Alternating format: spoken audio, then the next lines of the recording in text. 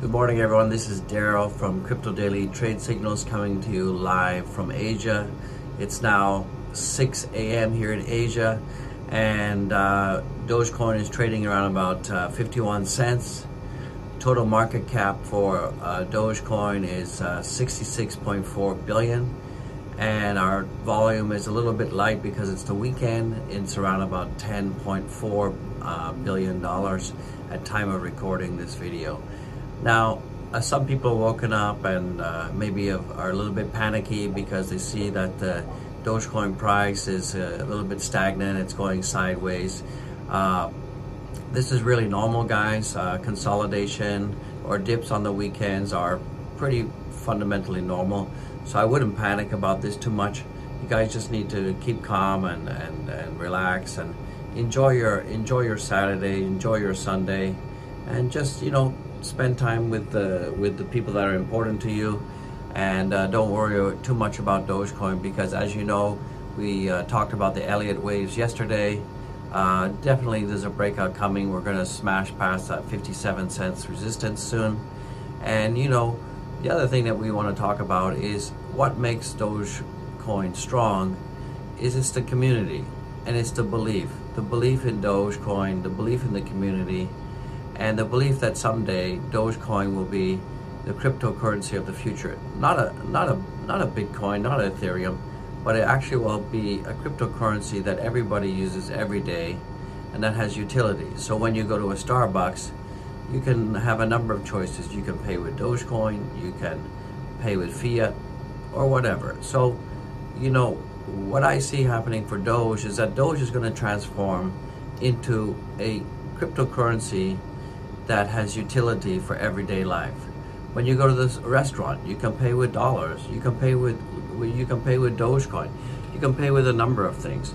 So this is what I'm talking about. Is that Dogecoin is just in its infancy. It's going to become, in my opinion, the default currency, the default cryptocurrency of the future.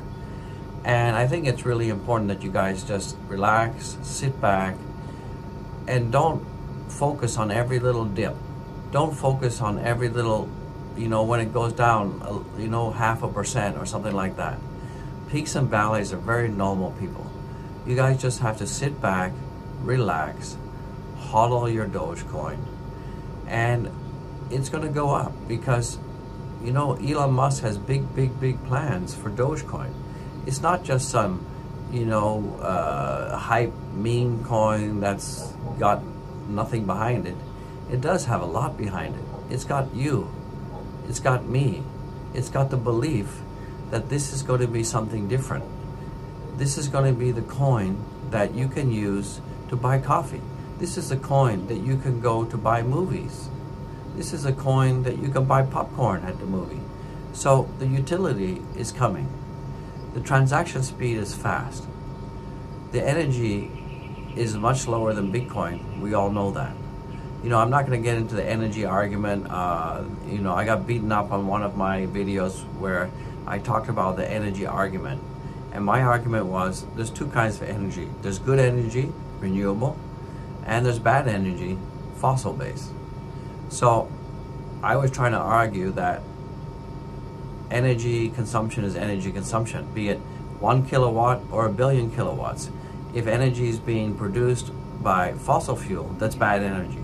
But if it's being produced by renewable, like solar, wind, hydro, then that's good. But let's not talk about that. So, Dogecoin is really about a belief system. And if we believe in Doge and the army is strong, and we keep holding our Doge, the utility will come. The price will definitely be going up, guys. So you guys have to just don't panic have diamond hands. Believe in the community. Believe in Doge. Believe in us. Believe in the future. And Elon Musk believes in it. I believe it. I loaded up yesterday on the dips. I'm I I'm buying in on the dips. So once again, guys, the weekends are nothing to panic about. You guys just need to take a chill pill and understand that every weekend we're going to have consolidation and we have dips. Remember, the people buying crypto are humans.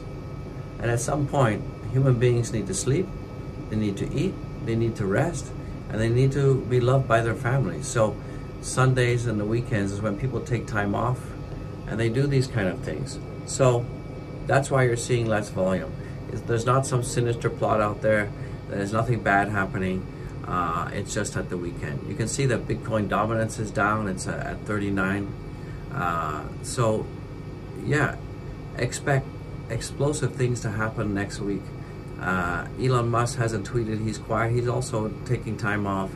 So expect big things for Dogecoin tomorrow. So guys, take it easy. Enjoy your weekends. Turn off your computers. Hug your family. Love your kids.